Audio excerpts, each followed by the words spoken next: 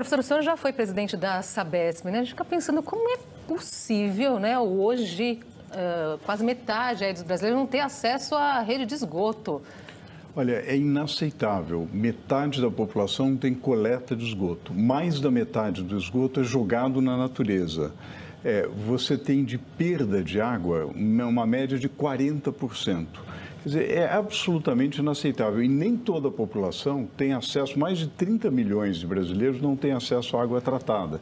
É inaceitável. O novo marco de saneamento é fundamental para superar isso e os municípios têm que fazer o dever de casa. O senhor acredita que vá? vamos superar? Eu, eu, acredito que nós temos uma grande chance. Já houve, eh, já, já existe entre 2019 e 2021, o volume de investimento em água e esgoto é, é, o, é o maior volume de investimento já observado